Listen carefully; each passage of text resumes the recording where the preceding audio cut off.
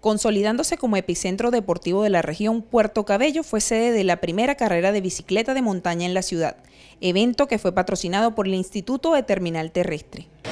Continuando con estas iniciativas deportivas que ha fomentado nuestro alcalde Rafael Lacaba, hemos organizado este Instituto del Terminal, la primera carrera de montaña en la cual fomentamos el deporte. La actividad enmarcada en el movimiento por la paz y por la vida promovida en este territorio costero por el alcalde Rafael Lacaba contó con la participación de aproximadamente 100 atletas. Hemos tenido una mañana del domingo distinta, con pedales, con alegría, con la energía deportiva, que es lo que caracteriza a la juventud y a la familia porteña.